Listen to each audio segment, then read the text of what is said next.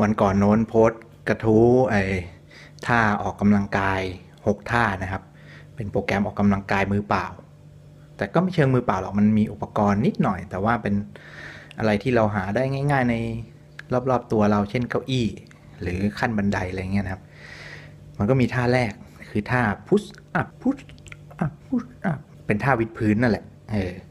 พอโพสไปเสร็จโหอันนี้ได้รับความนิยม เยอะเลยคน โหวตขึ้นให้เป็นกระทู้แนะนำในพันทิปเนาะดีใจจัง ก็ทำให้มีคนมารู้จักช่องอ่า Fat Fighting เนี่ยเพิ่มขึ้นนะครับ ผมมีไอ้บทความลักษณะเนี้ยที่เคยพิมพ์ไว้แต่ก่อนในเว็บ t h e r e a l com เว็บผมเนี่ยแหละนานละตั้งแต่ปี 2006 2006 ตอนนี้ 2 2016 10 ปี พิมพ์ไว้เป็น 10 ปีแล้วแต่ก่อนพิมพ์ไว้เยอะ แต่ก็หายไปพร้อมฮาร์ดดิสก์ของเซิร์ฟเวอร์นะครับ ถ้าอันไหน ไปหามาได้นะครับ เดี๋ยวจะเอามาพิมพ์ลงไว้ในกระทู้ในพันทิป ลงพันทิปดีกว่า เพราะว่ามันมันคนเห็นเยอะดี เอาลงไว้ในเพจตัวเองแม่งกิกก๊อก ยอดยอดไลค์นิดเดียว มันไม่เกิดประโยชน์เท่าไหร่คืออยากให้คนเห็นเนื้อหาที่ผมคิดว่าเป็นประโยชน์เนี่ยเยอะๆ จะเอาพวกเนื้อหาเก่าๆมารีไซเคิลก่อน อ่า เพราะว่าหลายอย่างนะครับ ผ่านไป 10 ปีก็เนื้อหาเดิมๆนะครับ แล้วก็ยังเป็นมันยังเป็นสิ่งที่ถูกต้องอยู่อะผ่านไป 10 ปีแล้ว บางอย่างอาจจะต้องอัปเดตบ้าง มันมี paper ใหม่ ๆ ออกมา แต่ก็ไม่เป็นไรเดี๋ยวผมจะคอย recheck อีกทีทุกครั้งเวลาโพสต์ถ้าใครมีข้อมูลใหม่ๆ ก็มาแจมกันได้นะครับ อะคราวนี้กลับไปที่กระทู้นั้นว่าทำไมถึงมาทำคลิปวันนี้ก็ คือในนั้นนะมันมีท่า push up ท่าวิดพื้นนี่แหละ ก็เลยตัวเองเนี่ยตั้งแต่ประสบอุบัติเหตุมาคือไม่ ไม่ได้วิดพื้นเลย เพราะว่าแขนผมนะครับ ทางข้อมือเนี่ยตรงเนี้ยมันมีรอยผ่าตัดเห็นไหมข้างในเป็นไทเทเนียมก็ช่วงก่อนมันยังไม่ค่อยแข็งแรงไม่มั่นใจ ช่วงนี้เดี๋ยวจะลองมาวิดพื้นดูนะครับว่าได้กี่ครั้ง เงื่อนไขสภาพร่างกายในวันนี้ก็คือว่าวันนี้เป็นวันที่ผมเล่นเล่นขา เพราะฉะนั้นช่วงบนไม่น่าจะไม่น่าจะเหนื่อย ไม่น่าจะล้าไม่น่าจะอะไรมาก แต่เมื่อกี้คืออันนี้เพิ่งนึกออกหมาดๆเลยแล้วเมื่อกี้เพิ่งกินข้าวไปก็จุกจุกนิดหน่อยแต่ แต่ไม่เป็นไร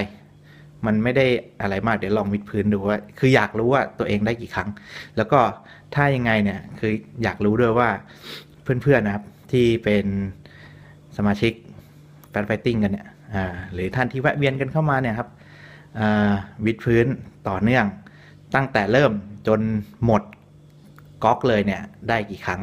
นับเฉพาะท่าที่มันโอเคนะ อันที่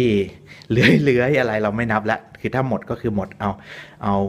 ท่าที่มันฟอร์มโอเคอยู่นะครับ เดี๋ยวลองดูว่าผมจะได้สักกี่ที นี่ก็ไม่รู้เหมือนกันว่าจะได้กี่ทีแต่ก่อนนะได้เยอะ แต่ว่าตอนเนี้ยทั้งอ้วนแล้วก็ทั้งความแข็งแรงอะไรมันก็ลดลง เดี๋ยวลองดูนะครับ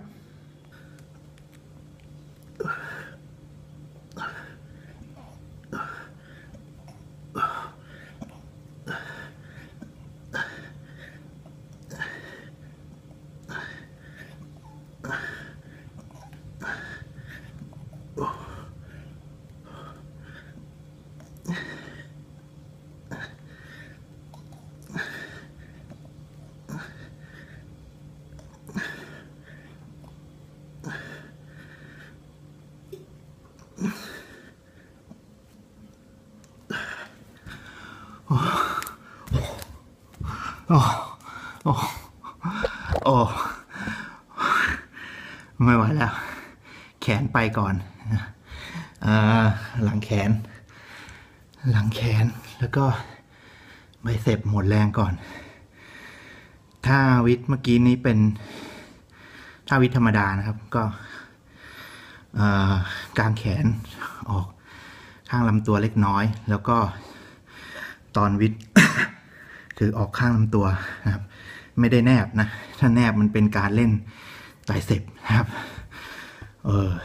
ก็ก็เป็นนะได้ไปยี่สิบครั้งใช่ไหมเดี๋ยวไปดูอีกทีผมจำได้ว่านับอยู่ได้ยี่สิบครั้ง พอรู้สึกว่าแขนเริ่ม เริ่มหมดแล้วก็พอละเพราะไม่งั้นเดี๋ยวตัวจะแอน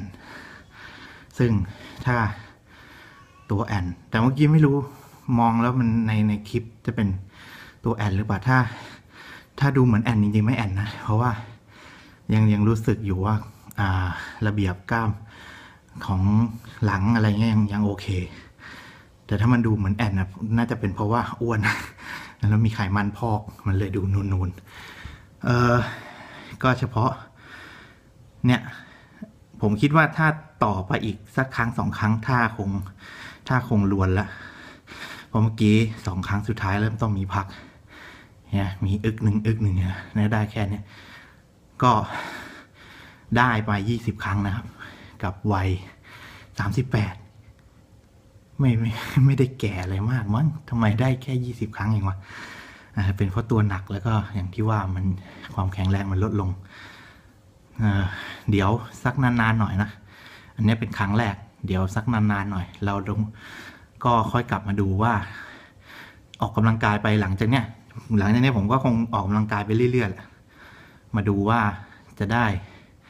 สักยี่สิบครั้งน้อยกว่าหรือมากกว่า เอาอีกสักอีกสักอีกสักสองเดือนนะลองมาวิดพื้นกันใหม่ วันนี้มาผมขอท้านะครับ เพื่อนๆนะครับ ไปลองวิดพื้นกันมาดู ว่าได้กันเท่าไหร่ เอาแบบ ท่าเป๊ะนะท่าเป๊ะมามาเม้นต์กันไว้ข้างล่างนี้ก็ได้นะครับว่าตั้งแต่เริ่มจนถึงจบเนี่ยได้กันได้วิดพื้นกันได้กี่ครั้งนะครับ ถ้าถ้าจะให้ดีถ้าสามารถเล่าได้นะ ก็บอกไว้หน่อยว่าตัวเองอายุเท่าไหร่นะ